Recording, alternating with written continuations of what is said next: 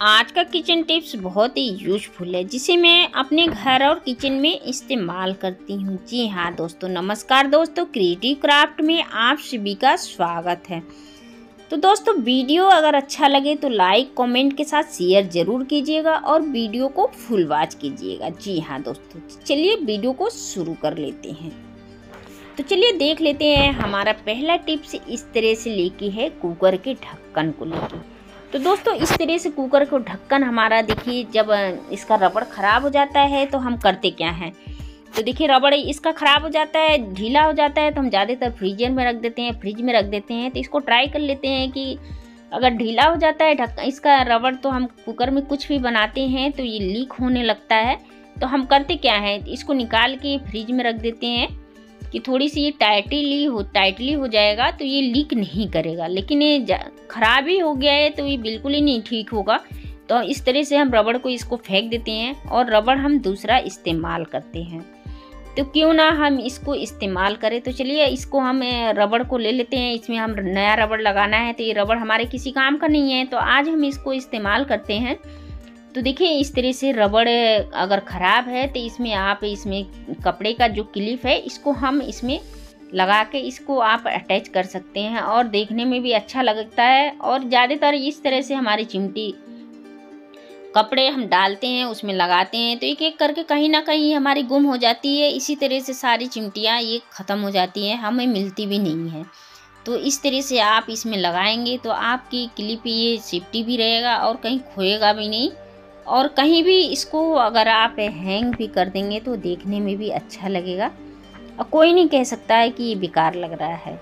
तो देखिए, इस तरह से मैंने लगा दिया है। आप इसको कहीं भी हैंग करके देख सकते हैं।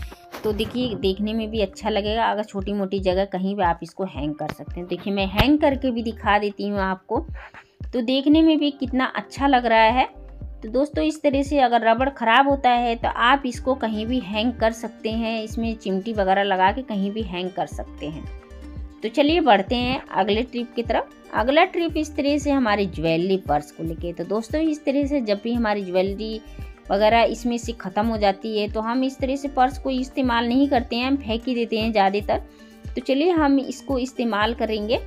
तो देखिए, होता क्या है, इस तरह से जब हम कहीं सफ़र वगैरह में जाते हैं तो क्या होता है, इस तरह से हम ज्वेलरी वगैरह अपना रखते हैं, अगर बैग में रख देते हैं तो हमें इस तरह से बहुत डर सा लगा रहता है कि हमारा ज्वेलरी बैग में रखा हुआ है और हमें बेचैनी भी रहती है, हमारा बैग नीचे रखा हुआ है, उसमें हमारी ज्वेलरी रखी है। तो दोस्तों, बेचैन होने की ज़रूरत नहीं है। तो चलिए, आप इस तरह से जब पेटीकोट पहनते हैं या सूट पहनते हैं तो देखिए इस तरह से आप अटैच कर सकते हैं। तो देखिए, जो भी ज्वेलरी बैग है, उसको आप लेना है और जो पेटीकोट का ये नाड़ा बांधते हैं ना, इसके सामने इस तरह से मुझे ज्वेलरी पर्स को इसमें, यहाँ पे मुझे इस तरह से अटैच कर लेना है। तो देखिए, इस तरह से इसको हम अटैच कर लेंगे। तो ये क्या है ना कि इस तरह से पिन के हेल्प से हम इसको अटैच कर लेंगे और जब भी आप इस तरह से पेटीकोट पहनेंगे ना तो इस तरह से आपका ज्वेलरी, पर्स ये आपके साथ ही मिलेगा और कहीं गुम भी नहीं होगा। नहीं, आपको टेंशन लेने की ज़रूरत है। तो देखिए, इस तरह से मैंने पर्स को अटैच कर दिया है और आप अपनी ज्वेलरी बहुत इजली तरीके से इसमें रख सकते हैं और बेधड़क सफ़र भी कर सकते हैं। आपको कोई टेंशन नहीं रहेगा कि हमारा बैग चोर ले जाएगा या कहीं खो जाएगा। तो ये आपका ज्वेलरी पर्स आपके साथ ही रहेगा। सूट पहने, पहन रहे हैं तो इस तरह से आप सलवार में भी अटैच कर सकते हैं। तो देखिए, बिल्कुल नहीं पता चल रहा है और किसी को पता भी नहीं चलेगा कि हमने आप अपने अंदर ही ज्वेलरी पर्स ले रखा है। जी हाँ दोस्तों छोटा सा ट्रिक है, पर बहुत काम का है। तो चलिए दोस्तों, बढ़ते हैं अगली ट्रिप की तरफ़। जब भी हम रोटी बनाते हैं शाम को तो आपने देखा होगा दोस्तों, किस तरह से एक दो रोटियाँ हमारी बच जाती है, या तो हम इसको तेल लगा के खा लेते हैं या तो हम इसको गाय को दे देते हैं। देखिए, अगर ज़्यादा बच जाती है तो हम इसको तेल लगा के खा लेते हैं। या तो हम इसको गाय को खिला देते हैं। जी हाँ दोस्तों। तो चलिए, मैं इस रोटी में से एक छोटा सा टुकड़ा ले ली हूँ और टुकड़े को मैं इस तरह से कटोरी में इसको छोटे छोटे टुकड़े के साइज़ में इसको हम तोड़ लेते हैं। तो दोस्तों, मैं इसका रियूज बताती हूँ कि मुझे करना क्या है। छोटे टुकड़े में मैंने इसको तोड़ लिया है। और मुझे इसमें डालना है थोड़ी सी हारपीक। तो देखिए, स्टील का बर्तन मैं नहीं ली, मैं इस क्रॉकरी का ली हूँ तो स्टील का बर्तन क्या है ना, इस तरह से ख़राब हो जाएगा। तो चलिए, मैंने इसमें हारपिक को डाल लिया है और मुझे करना क्या है, चम्मच के हेल्प से मैं इसको अच्छी तरह से मिक्स कर लेती हूँ। तो आप देख पा रहे होंगे दोस्तों, इसमें हार्पिक अच्छी तरह से मिक्स हो चुका है और मैं इसका रिव्यूज़ बताती हूँ बताती हूँ कि इसको मुझे रिव्यूज़ में करना क्या है। तो देखिए, मुझे लेना है मिक्सी का जार।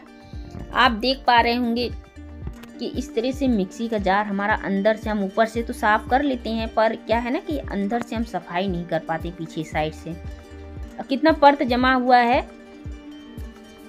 इस तरह से हम सफ़ाई नहीं कर पाते हैं। तो चलिए, जो अंदर जमा हुआ है, मैं उसको दिखाती हूँ कि अगर आप इसके हेल्प से सफ़ाई करेंगे ना तो बहुत इजली तरीके से ये सफ़ाई हो जाता है और कोई प्रॉब्लम नहीं होता है।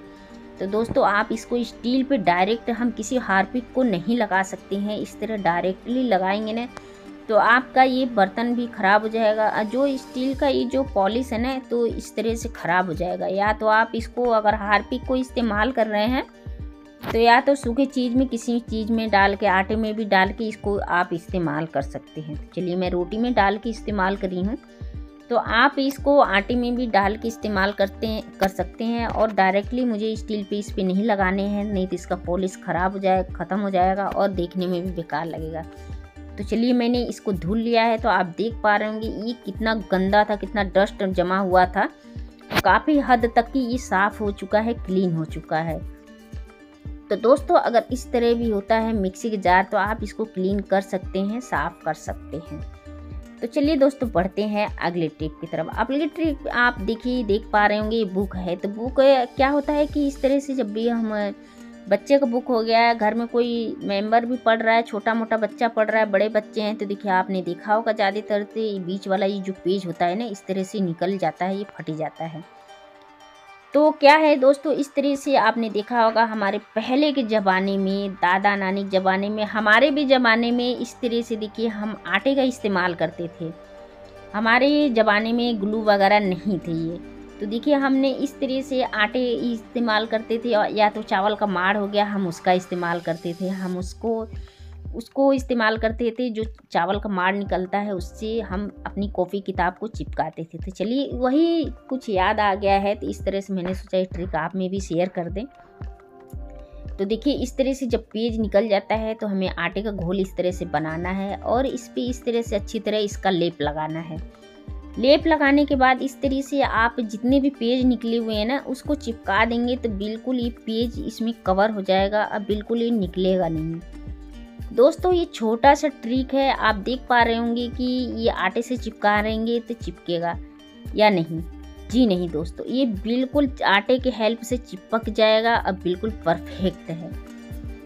तो इस, ये छोटा मोटा ट्रिक है। ये ट्रिक आप लोग एक बार ज़रूर आजमा के देखिएगा। इस तरह से आपके पास ग्लू नहीं है गम नहीं है, फेविकोल नहीं है तो आप ये छोटा सा ट्रिक है, इसको आजमा के ज़रूर देखिएगा।